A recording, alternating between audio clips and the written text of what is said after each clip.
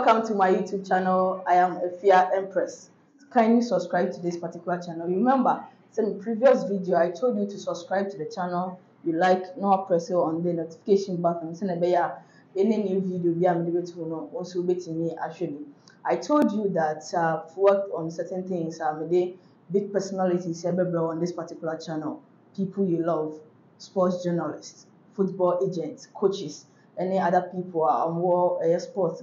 So subscribe to this particular channel. And then Matwa Miankasame brother Ewaha, he is a football agent or a talent manager or a event planner and also other things. Oh yeah, and no ho asɛm ɛde akyerɛ yɛwuram ɛwɔ ne studio ɛne ne bɛdi nkɔmmɔ how a ne journey ɛhyɛ aseɛ ɛde kɔsi baabi a ɔno nso atumi adu so ladies and gentlemen let me introduce to you the young but brilliant and intelligent special being Daniel. Is it Junior, right? Boifio Junior. Boifio, Boifio, I mean, to me, can Boifio, Boifio, Boifio Junior. DBJ. DBJ. Sorry, how are nice you? to meet you. I'm fine. I'm doing good. The last time we met, um, I think you invited me to yeah, to an award. Maybe award something. Yes. Then I had to go because the yeah. big man himself afraid me. no, because I was, I was I've been following your work too as well, and I see like you're really doing great. So I I feel like no, I have to see who this person is. Oh, thank Hence, you very much. Invite you. And, and that time you said I was dying to see you because I yeah. sent you a message. Yeah. For some time, say, Charlie, I admire your work and looking very young. Me, mm. the efforts I put in, uh, I think say, it was nice to catch up and then know yeah. much about you. But then, uh, let's start our conversation. Who is DBJ? Hmm, DBJ, you know, I've been I've been getting these questions often, but DBJ stands for Daniel Boifio Jr. Okay. Personality wise, I would say um adventurous, um creative, um open minded. Okay. Um, I'm a calm person, um, as well as a very courageous person because I love to uh, approach the impossible. I love to make the impossible possible. Wow. So that's that's who DBJ is. Career wise, I would say um, I'm a talent manager and event planner, and I work for a very reputable agency registered to the Netherlands FA. That's with my partner Sebastian Arnesen. Um, he was um, a former scout of Manchester City, worked for them for six years, and for Chelsea for four years. You know, we'll, we'll come to that, but yeah. I want you to tell us how the journey started, where you started schooling from infants to Yeah. Okay, so I began my primary education um, where I grew up from, Bawi. Uh, that was at Danem Royal Montessori and then right from then um, I moved to Accra Academy. Bleo. Bleo. So I moved to Accra Academy, and to be frank with you, I feel like that's where everything began. Um, I picked up a few leadership roles whilst um, in school, whilst I was a student there, and um, I got to meet a lot of the the alumni of the school, and also participated in a lot of events. And then um, I found myself in in various um, uh, various clubs okay. on campus, and so that's where the sporting clubs or no no like I said uh, school clubs. Okay. Yeah, and then. Uh, that's where the interpersonal skills started coming from. That's where I learned how to start networking and, and all that. And then from Accra Academy, I moved to Valley View University. Um, Which year? That was in 2015. Oh, okay. I, I moved to Valley View University and I did computing science over there. Right. And right after level 100, I had my internship at Multimedia Group Limited, which is Joy FM. Okay. And then in 20, that was in 2016 after level 100. And then after level 200, I found myself at EIB Network GH1 um, I was there for two years, like for internship. Was it for IT works or? Yeah, for IT. Okay, yeah, for IT, because of what I was offering um, in school at that as at that time, and so. But personally, I had my own podcast channel, okay. and um, you know, because I did my internship at Joy FM, it opened doors for me to like the various national teams yeah. that we have, and that's where I started um, having combos with like players from the national teams. And so when I began my podcast channel, it wasn't so difficult to like get players on my show and everything. So I, I started as um, I would say um, a journalist, a radio host on campus. Mhm. Valley View had a radio station. Okay. So that's where I, I started from. Yeah. Wow, so would you say say because of Oba Radio, multimedia, EIB, that is where we generated the love for journalism. By that time, you didn't know what you wanted, but then no one ya No, growing up, growing up, I never knew what I wanted because I was doing so many things. I you see me doing sound engineering. You see sound me engineer. sound engineering. Yeah, I would I would go after school. I'll go and meet the sound engineer, popular sound engineers at Mallet and Danny Beats, trying to learn from them. And I'll try my hands on journalism, even though you know I, I see myself to be um, a self-taught person. I, I, I love to learn things on on my own, and so I, I got interest in those things, and that's why after level 100, I I applied and I got my um, internship. I had my internship at Joy FM, and yes, I would say I this man George Addo Jr. Yeah. He really trained me when when I was there, and I got to be on radio and then on TV. You, know, we'll put the picture on it for people to Yeah. see. You were very young at that time, Very very young. the very courage young. was there. Yeah, the The courage was there. too. Yeah, the will to do. I really wanted to make things happen. That's DBJ. That's DVD. All right, but we've seen you managing political actors, Yeah. athletes, Yeah. social media influencers. Mm. How, how are you doing that? Well, as individuals, as individuals, we are looking for what to do for a living or as a career, which is very difficult to to settle on.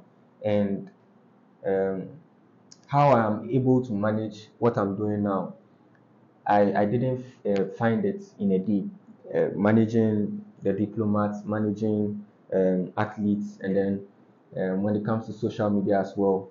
And for me, the passion is there. You know, when it comes to talent management, it's, it's, it's all about um, identifying like talents Yeah. and recruiting the talent you want to manage or you want to help develop. It's it's a process, and so multitasking with these people, I know it's that's why I said it's a very big task. Yes. And and for sports, I have a team. So in all the fields, I have a team. So when it comes to sports, I have like um, an entire team. Let's say a team of scouts who are in like different regions in Ghana, and so they make the work like easier Yeah. for me when it comes to um, identifying talents at that side, and then when it comes to developing the talent and um, pushing the talent forward.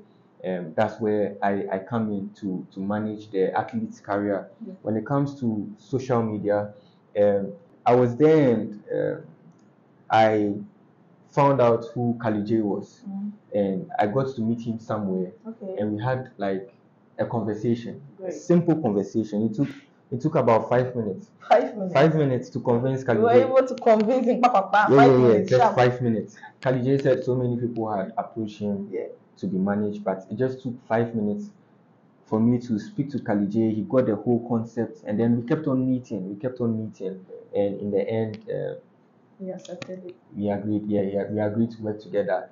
When it comes to the diplomacy side, you know, they come from different places, Yes. and because they are new to this place, this country, they want to um, know how Ghanaians think. They want to know what culture. Ghanaians want exactly. And so, like being um, a bridge between them and Ghanaians, knowing what Ghanaians want, is what brings up um, so many ideas Yes. um, when dealing with these diplomats. And so they buy into my ideas and they're like, I can work with this guy. I, I, I would really want him to be close to me, to work as a, a personal manager. That's good. And yes, so that's that's how all these things. You help them understand the culture. I mean, it's, Yeah. a, it's a different terrain, so Yeah, you need to yeah. know much about Yeah. that.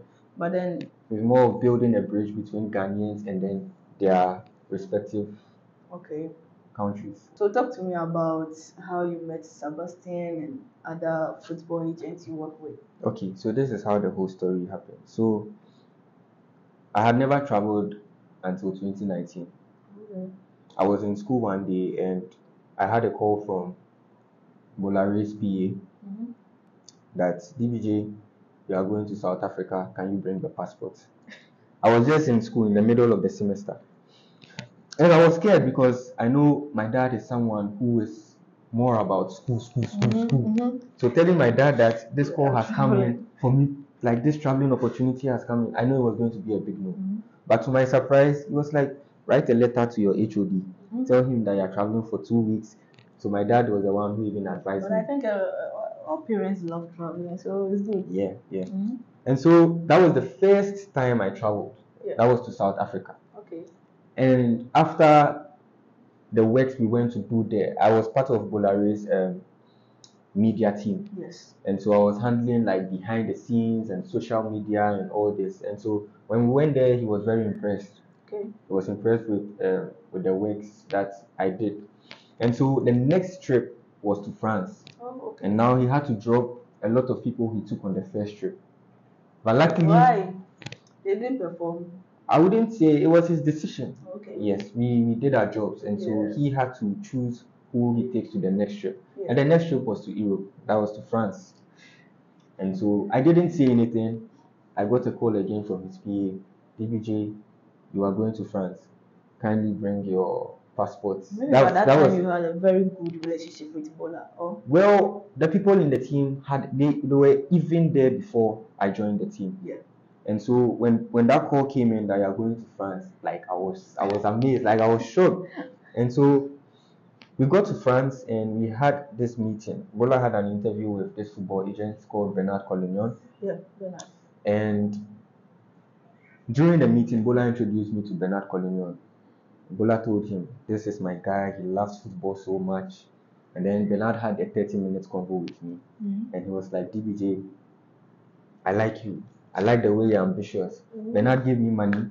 Wow. Yes, he gave me money. He said, Go to Ghana, organize a tournament for me. I would come. But you were young. I was young. That was in 2019.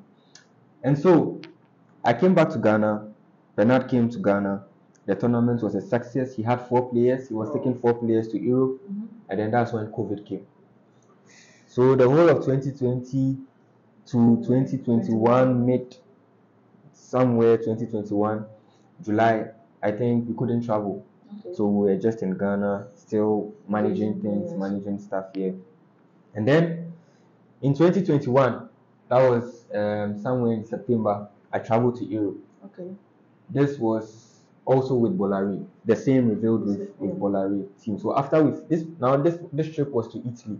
So after we finished with um, the job that we were supposed to do there, I did my personal like tours Okay. and so I, I visited I think six countries there because I knew players Mhm. that I started like working with from 2015 when I joined the national team and, and all that as a photographer. And so they invited me, they bought tickets for me to come and visit them. Wow. Yeah, and I'm grateful for that. It was a very nice experience. And in one of the trips, I was supposed to go to Amsterdam, Okay. and then um, I that's where I met Sebastian. Mhm. So just like the way we had a convo with Bernard, we had the same conversation. Sebastian wanted me to organize a tournament for him. He would come to Ghana with his scouts Mhm. and then come and you know get talents from here and take to Europe. So he did the same thing. I came back to Ghana and I organized uh, the tournament Okay. for him. He was so impressed.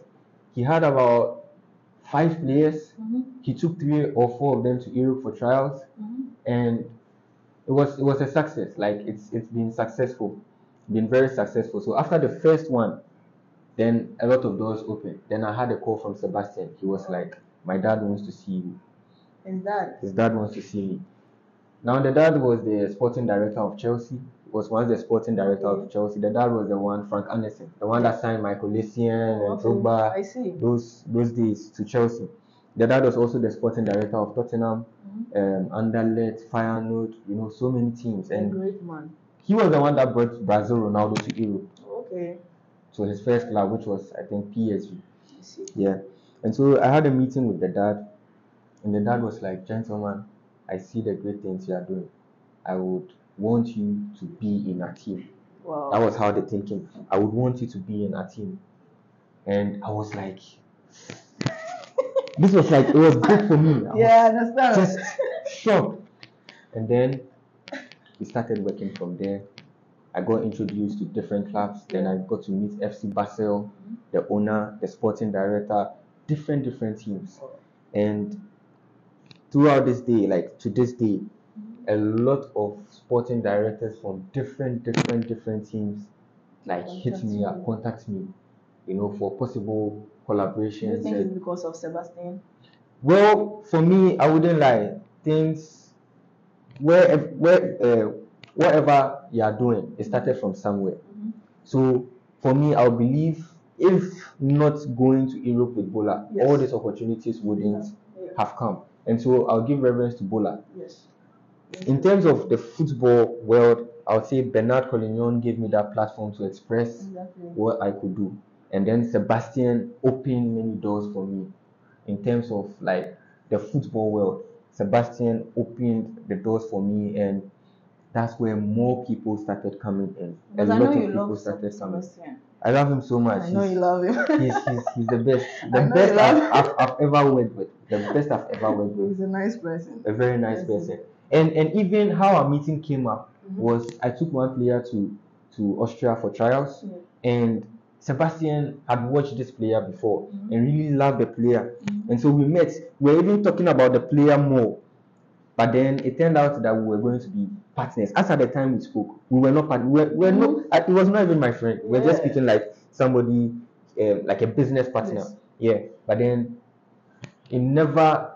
We never saw that it could it could turn out to be this. Like now, being his like partner, No.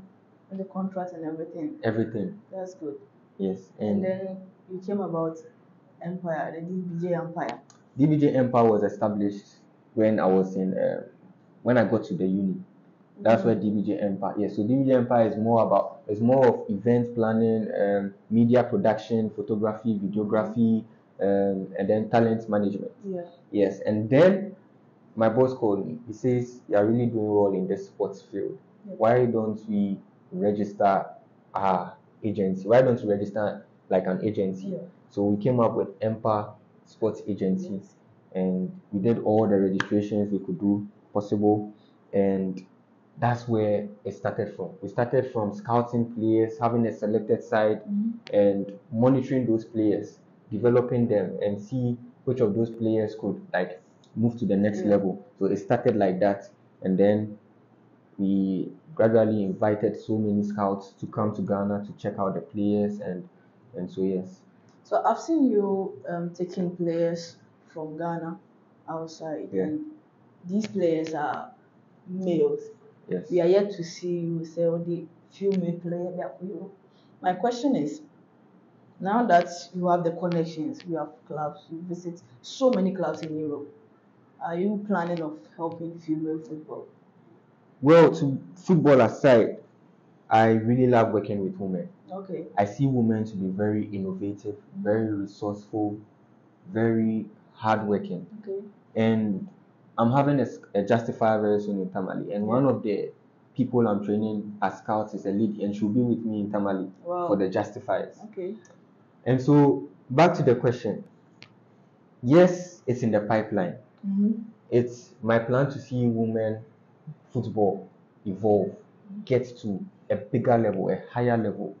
When I go back from Europe um, recently, I got in touch with the Black Queens coach Nora, Okay. and we we've spoken on phone, but we are yet to meet in person to have um, a conversation. And I feel part of the conversation will be about women football and how we can help develop like women football in Ghana and also give them opportunities to um, to clubs outside in Europe. I know for some of the clubs I know, mm. some of the clubs I have contacts with, Yeah. they have the female side, they Okay. have the women side, and so getting opportunities for them should like women football be really developed. Like it shouldn't be a problem. I, I, I would really be happy if you do that because you know I'm to women's football. Yes, yes, I know. Senior senior player, I know. But you know you're my boss because you've won a trophy. I'm here to win a trophy. Oh, you are the coach, you are the boss, you are the boss. Don't worry, one day you see it. It will happen live and color. I believe so. It will happen. So let me come To to, develop my, our country. my main topic. Yeah. That's about Fabrizio. Yeah. Just recently we saw a picture of you with Fabrizio and then some videos were circulating.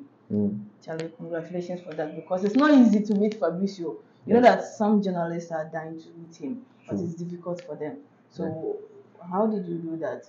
Okay, thank you very much for this question. So, I remember last year on 5th of July, um, I texted Fabrizio on Instagram. He posted something on his story, and I told him, I am meeting you very soon.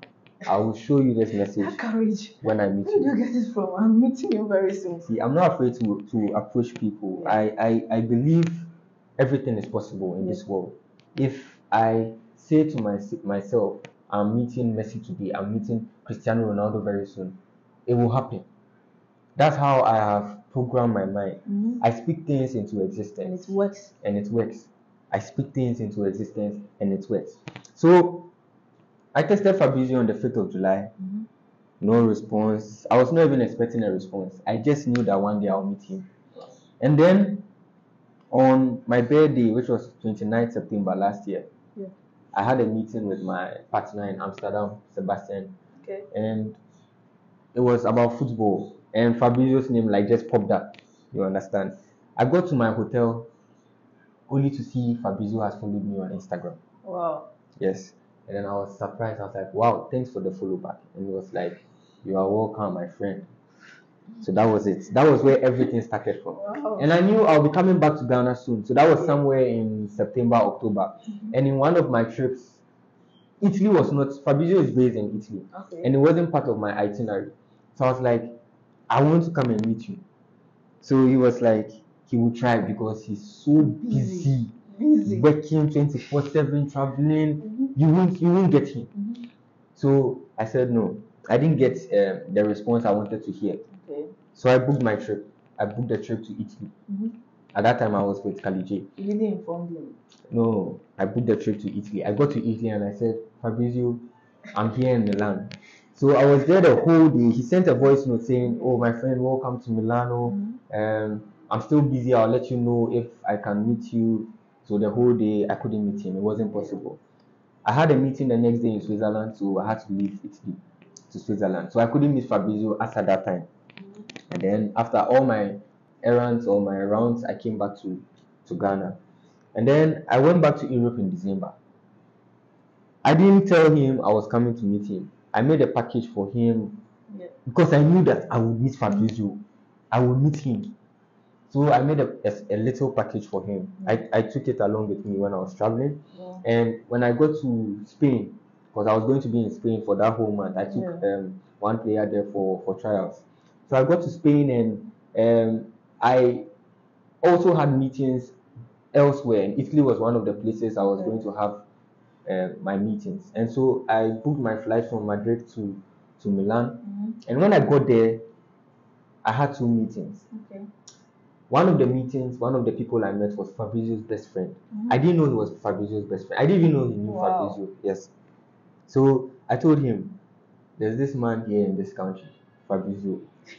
And then he was like, Fabrizio, that's my best friend. Yeah, that's my best friend. You want to meet The him? door was just close to you. the door was just close to me. I didn't even know that man knew Fabrizio. You understand? Because it was just a meeting, like Yeah. about football and, and, and giving opportunities to like Ghanaian talents to come to Italy, yes, for opportunities. And so and so immediately I texted Fabrizio. I said, Fabrizio, I'm in Italy. But Fabrizio was not in Italy by then. He was in the. Maldives. It was during the World Cup Mm. time. So he was in Maldives enjoying like holidays and, and all that. And then I was like, okay, when are you coming back to Milan? Or when are you coming back to Italy? I was texting him. You were pressuring him. I was giving him a lot of pressure. No, Fabrizio knows. I, was, I gave him a lot of pressure. So as at the time I went to Italy, it wasn't possible. So I went back to Spain. Mm-hmm. And then on the 1st of January, Okay. I had a message from Fabrizio.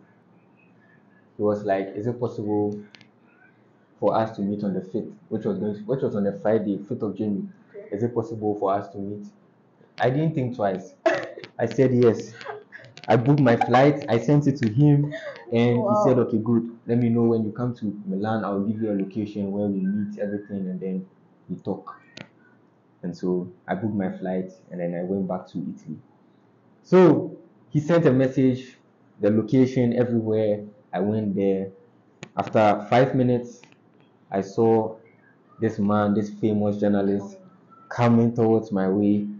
And he was like my friend, and then he gave me a hug. Finally. Finally, finally we met, and then we went to sit down the, the bar, the mini, a mini bar, and then we started having like discussions. He started telling me so many things Mhm. about you know his life, you know Yeah. how he's the only boy of his parents, and he has to visit his parents every week, like once a week at least. He has to travel. How he has to combine it with work. Mhm. He's very humble. Mhm. Fabrizio is a very humble person. He, the one, the, his best friend, the one I went to meet, he has not even met his best friend in like five months, four to Five months. Yes, His best friend. his own best friend, he has not met him in five months. This should tell you that Fabrizio is a very busy person. And so, having the opportunity to meet him was like, should I say, a blessing Yes. to meet him because it was not just about meeting Fabrizio, Mhm. but it was more about bringing like opportunities from somewhere to my country Well, and that's where like that's how the whole conversation took place we spoke about coming to ghana him coming to ghana well, and he really liked the idea and there's one thing he told me he said if i come to ghana i wouldn't like to be here for just 24 hours i want to be in ghana for a whole week one week. one week Wow. and i was like don't worry fabrizio Bring him. Bring Oh, him to that- Ghana. that's that's that's like. I'll, I'll speak it into existence again and It will come. come. So that's like where now my next big project would. That's what my next big project will be, um, bringing Fabrizio to Ghana. And so you know this transfer season is very busy, Yes. and so maybe right after the transfer, we, we speak about the possibility of him coming to Ghana, and then we look at his itinerary, what he's coming to do in Ghana, and and if he buys into the idea, for It sure he will show up. Yes, that that is one of And we all support. of my projects. Yeah. we all support. Thank So after the interview, you have to speak some positive Sharp, sharp. words this time for me. Don't worry. so that in the near future I will become like you. Don't But worry. then, after you posted the um, video and then the pictures, I saw some comments Mhm. under it. I normally read your tweets a lot, Yeah. and there was this particular guy, Bongo Ideas. I know you know him. I don't know him.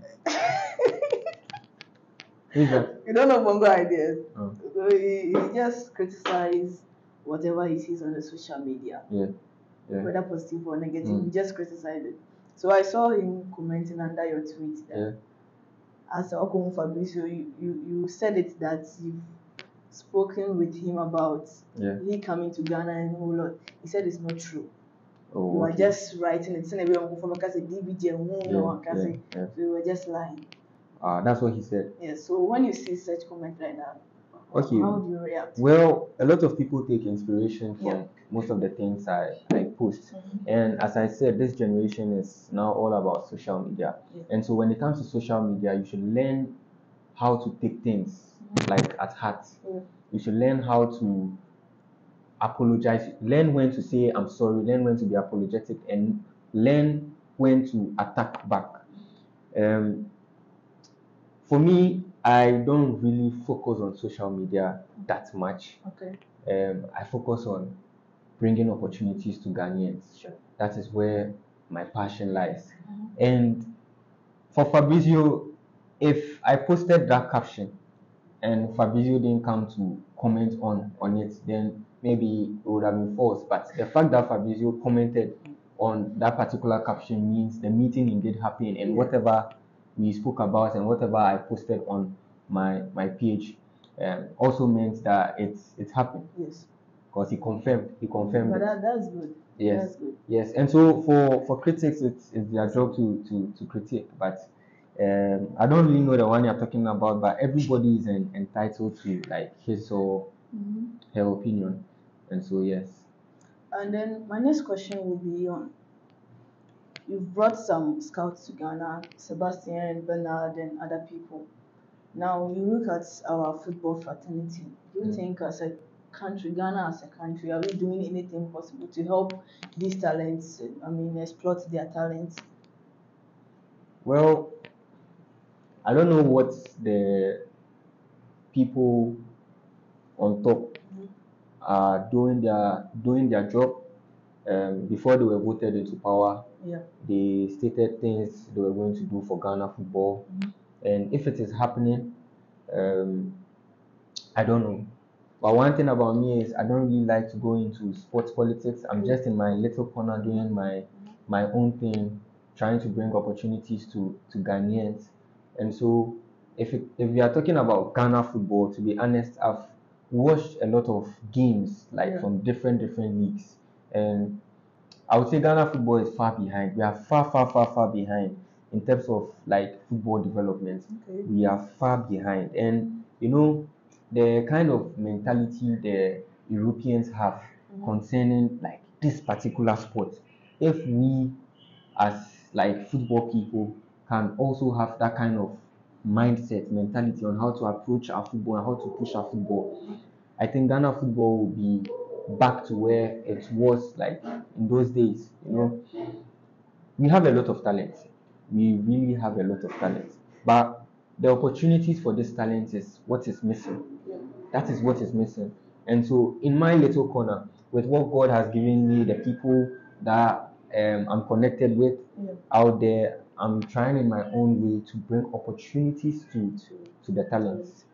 And so, yes, I wouldn't want to speak about, you I understand your point. I Yeah, understand your yeah. point.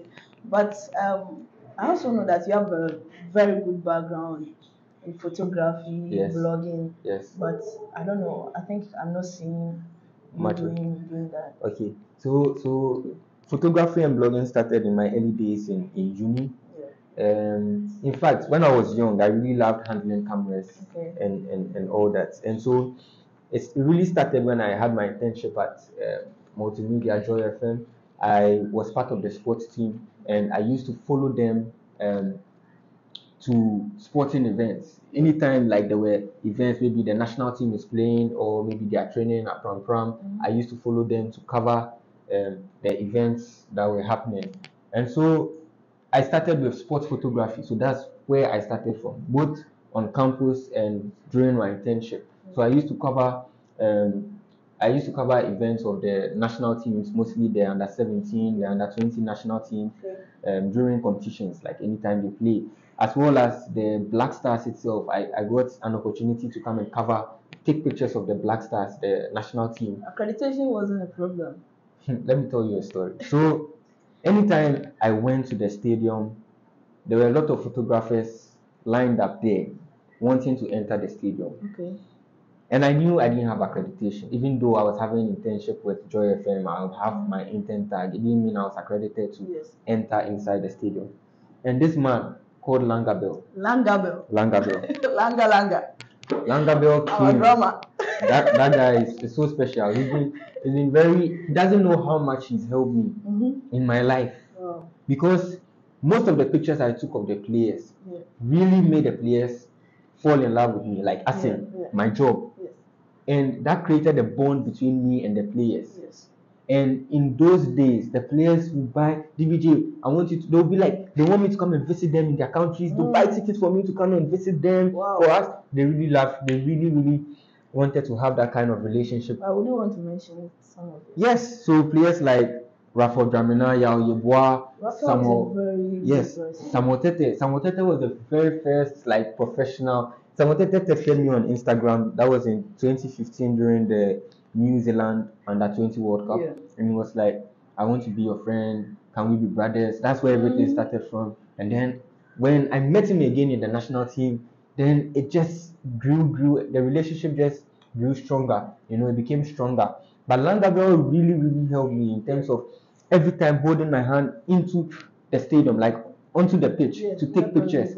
And the blogging aspect, I'm not, I wasn't really a blogger. I was more of a photojournalist. Alright. And so when I take pictures of the national You team, tell a story. I tell a story about it, and then I post it on website, my Joy Online. As at that time, I was with Joy, so I had the opportunity to post on that website, my Joy Online, Ghana Soccer Net, so many websites like sports websites, and it really boosted like my CV Wow. a lot.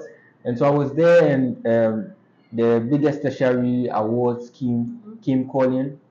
That I was nominated for it, and in that particular year, I was nominated for seven seven categories. Wow. It was crazy. So if I'm going, if people are voting for me, I don't. In the in the end, I ended up with the student photographer of the year because of what I really did in that year in terms of So my photography was based on sports, Yeah. sports photography. That's what I was doing. And then I tell a story, post it on websites. So that's how come I got that award. And I won it the following year again because it continued. And then I got to a point I said, let me stop. Because now another door had opened, Yes. which was now football management. And that's where now um that's what I'm doing now. So, football management, that is all, or you may want to look into different, I mean, departments as well. Of football. Football, any Like other foot, thing. anything football. Mhm. It's it's in the pipeline. Um, definitely one day I would love to have my own academy. I would love to get my own academy, but for now, it's I'm concentrating on on helping like talents from our countries, uh, from our country, and um, I'm interested in in going into those places, like rural, Mhm. places, Yeah, um, to, to to spot talents, and then see how best we can help them. Okay. Yes. and So, when you travel, do you read on football management, talent management, or event planning? When you travel to Spain, Europe, other countries, I mean, So I'm more of a practical person okay, than a theory person. okay, And so I love to learn in practice. yeah, And so I can travel to Spain and um, be with maybe a chief scout of a team. Okay, and he's showing me different things Mhm. I need to learn about sporting talent and the mentality of players as well and the kind of qualities they need in their leagues. Okay, because you might be not you might not be too tall okay. but you might you can you are very good. Maybe you are a striker Mhm. but in spain they have a certain height requirement Yeah, for a striker. Maybe you are five eight but Mhm. they need a six two. Yeah, striker so you can be very good five eight but doesn't mean you can fit in their system maybe another league okay. you can fit into that league, but not that particular league structure. And so when I go, I learn more about the league, learn more about the kind of players they want in their leagues, and Wow. that really helps me a lot when scouting. Yeah. When I come back to my country and I'm scouting, that really helps me a lot to spot talent and know that okay, this one would fit in the Portuguese league, Mhm. this will fit in the Belgian league, this will fit in the Spanish league, and so on and so forth. And so when I go to Europe, it's not just about going to watch games, it's about learning the game Yeah. and networking, creating more contacts, because that is what is important. Some people have the contacts, but they keep the contacts to themselves. But I want to share the contacts I have with everyone who deserves it Okay. because you never know tomorrow. Yeah, You are here today, tomorrow you are gone. What did you do? exactly. All right, so we are bringing our conversation to an end, but I know you have a program that will be held in Tamale, right? Yeah. Next month. Yeah. So I want you to talk about it. brief. Okay, so with that particular um, event, so it's a justifier every year. I make sure to organize um, a justifier. Last year we had over 2,600 people registering for a justifier. I organizing. 1,600. I organized in Accra. We hit that limit 2,600 and we had to close the registration. More people wanted to register, so it could have been more. Yes. So this year we are doing it in, in Tamale Okay. and we are expecting a huge number as well Wow. um, of players coming to Tamale. It's in, Okay. in collaboration with um, the Honorable Al Hassan Suhuyini Yeah. and he's been very very helpful in, in the process and my team is ready we are going all out there to pick the best talents and see how best we can develop and help those particular talents we we see. And i'm going with my my team um, of trusted scouts and my media team as well. I trust you. yeah as well. And so yes tamale should should should expect a very good event and the players should just um, come out in their in their numbers because they never you never know. Mm-hmm. you never know. You never know where your next destination might be in two years three years. You never know. And so we are urging all of them to come out in their numbers and do what they have to do. Thank you, DBJ, for this opportunity. thank you very much coach if you are impressed. We go.